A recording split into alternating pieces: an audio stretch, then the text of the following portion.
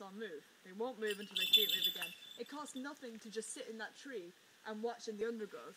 Yeah. It does cost energy to go off looking for the next thing. Right. I'd rather sit tight. So if he's if he's hunting something, if we lose him Mm-hmm. or I can't find him again, he's probably caught it or he's probably looking for something. And uh, me whistling and calling will do little good Hmm. until the bells move and I can see see where he is. Yeah, so they can catch sort of rooks. Um, pigeons are actually the ultimate flying machine. Everyone disses the poor pigeon. Yeah. But uh, did you see that? He came right in between our heads there. So I'll get him back again, so I'll give him a decent piece of that. Watch him come around. So watch his head. When you put your glove up, it's got food in it. Your glove is the prey. Right. And so their eyes are so big in their skull that they've no room for musculature. They can't actually move their eyes. So what they do is they move the whole head.